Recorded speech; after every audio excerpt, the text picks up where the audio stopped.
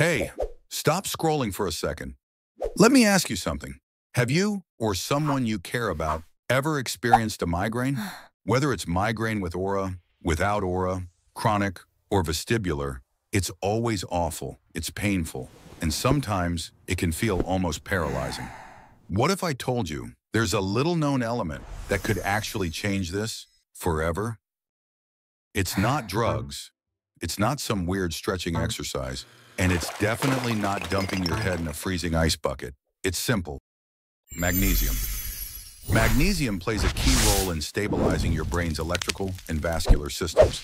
It helps calm overactive neurons, supports serotonin signaling, and reduces inflammation in the nervous system. Many studies show that magnesium may reduce migraine frequency by up to 40%.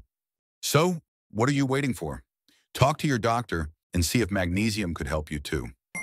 If this video helped, please like and share it with someone you care about who Oh. might suffer from migraines.